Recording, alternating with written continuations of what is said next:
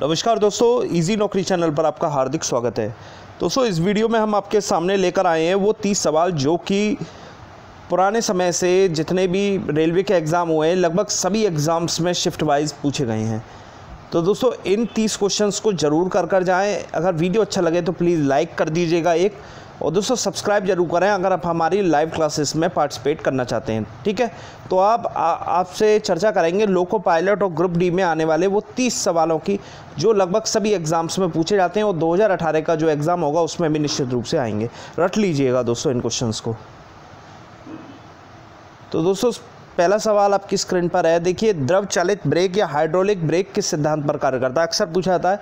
तो दोस्तों, ये पास्कल के नियम पर कार्य करता है। पास्कल के नियम के अकॉर्डिंग ये कार्य करता है।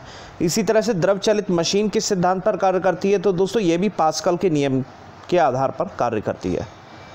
हाइड्रोमीटर का रिलेटेड बहुत क्वेश्चन आता है, बहुत बार आता है, ये किस सिद्धांत पर करता है? दोस्तों, ये प्लवन के सिद्धांत पर कार्य करता है।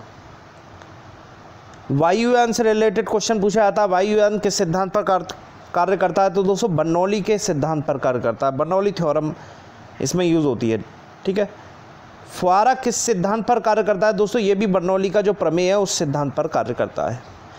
एक क्वेश्चन आता है, दोस्तों, बर्नौली का प्रमेय किस सिद्धांत पर आधारित है? तो दोस्तों, ऊर्जा संरक्षण का जो एनर्जी कंजर्वेशन का जो सिद्धांत है, उसके ऊपर आधारित है।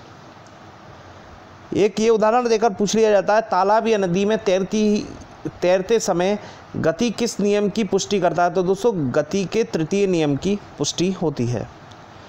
उत्तोलक के सिद्धांत पर कार्य करता है तो दोस्तों बलागुण मोमेंट ऑफ़ फोर्स के सिद्धांत पर यह कार्य करता है।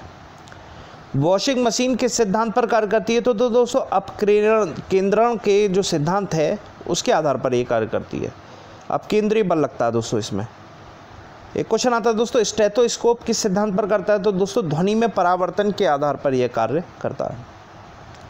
कंप्यूटर और मोबाइल फ़ोन में किस सिद्धांत का प्रयोग किया जाता है? तो दोस्तों, आईसी अर्धचालक या इलेक्ट्रॉनिक्स के नियमों का प्रयोग इसमें किया जाता है। एक क्वेश्चन आता है दोस्तों, एंडोस्कोप किस सिद्धांत पर कार्य करता है? दोस्तों, पूर्ण आंतरिक परावर्तन सिद्धांत पर एंडोस्कोप कार्य करता है। पेरिस्कोप किस सिद्धांत पर कार्य करता है? दोस्तों, प्रकाश के परावर्तन के सिद्धांत पर यह कार्य करता है। परमाणु बम किस सिद्धांत पर कार्य करता है तो दोस्तों, नाव के विखंडन या न्यूक्लियर फिजन की जो प्रक्रिया है, उस सिद्धांत पर ये परमाणु बम कार्य करता है। हाइड्रोजन बम किस सिद्धांत पर कार्य करता है तो दोस्तों नाभिकीय संलयन जो प्रक्रिया है, उसके आधार पर हाइड्रोजन बम कार्य करता है। यह नियंत्रित श्रृंखला होती है। रॉकेट किस सिद्धांत पर कार्य करता है तो दोस्तों, संवेग संरक्षण के सिद्धांत पर रॉकेट जो है, वो कार्य करता है। डिटर्जेंट पृष्ठ के किस सिद्धांत पर साफ़ करते हैं? तो दोस्तों पृष्ठ तनाव सर्फ एंड टेंशन पंडुबी किस सिद्धांत पर कार्य करती है? तो दोस्तों, प्लवन का नियम या आर्कमिडीज का जो सिद्धांत है, उसके आधार पर पंडुबी कार्य करती है। हाइड्रोमीटर किस सिद्धांत पर कार्य करता है? तो दोस्तों, ये भी आर्कमिडीज के सिद्धांत पर कार्य करता है। क्या आर्कमिडीज के सिद्धांत होने से सोने की शुद्धता का पता लगाया सकता है? बिल्कुल हाँ अपेक्षित घनत्व की सहायता से। ऑटोमोबाइल्स के हाइड्रोलिक ब्रेक के कार्य करने का सिद्धांत किसका है? पास्कल के लॉ का पास्कल के नियम का। द्रव चलित यंत्र या हाइड्रोलिक प्रेस या हाइड्रोलिक लिफ्ट या हाइड्रोलिक ब्रेक किस नियम पर आधारित हैं? दोस्तों, पास्कल के नियम पर आधारित हैं।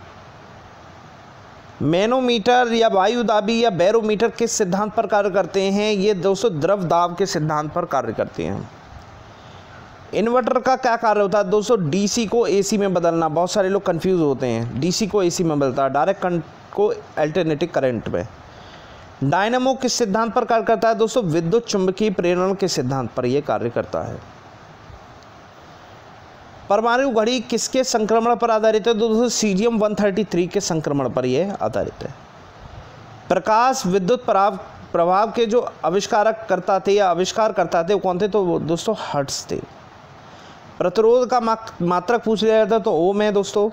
चालक की लंबाई बढ़ाने पर जो रेजिस्टेंस है, प्रतिरोध उस पर क्या प्रभाव पड़ता है? बढ़ता है।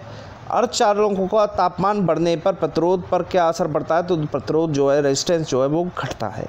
तो दोस्तों, ये तीस सवाल ज़्यादातर सिद्धांत के ऊपर आधारित थे और हर शिफ्ट में दो या तीन क्वेश्चन इसके ऊपर फिजिक्स से रिलेटेड निश्चित रूप से पूछाएँगे वीडियो अच्छा लगे तो प्लीज़ प्लीज़ प्लीज़ आप सभी से रिक्वेस्ट है सब्सक्राइब के आइकॉन और बेल आइकॉन को ज़रूर क्लिक कीजिएगा और हमारी लाइव क्लासेस को ज़रूर ज़रूर पार्टिसिपेट कीजिएगा। क्योंकि अगर आप लाइव क्लासेस में रहेंगे तो निश्चित रूप से आपको फ़ायदा होगा और आप सलेक्शन के चांसेस आपके बढ़ेंगे। बहुत बहुत धन्यवाद।